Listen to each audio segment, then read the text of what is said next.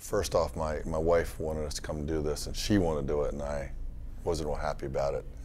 I happened to run two businesses, and uh, was was figuring I, I've learned a lot of stuff, and at my age, what more do I have to learn? And and so came here, and immediately you, you figured out that there's always improvement, but more important, this was not about external. This was about internal. So, you know, um, Kelley took us through about learning about who we are, what can what things in ourselves that we've held in because we pull push so much stuff down especially for guy you just push it down push it down push it down.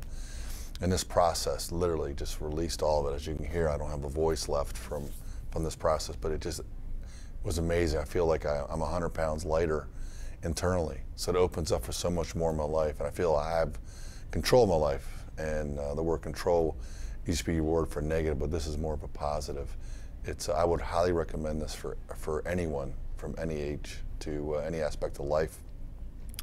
I don't have a voice back because I was able to empty all the negative energy. Um, but the biggest person I did forgive was myself.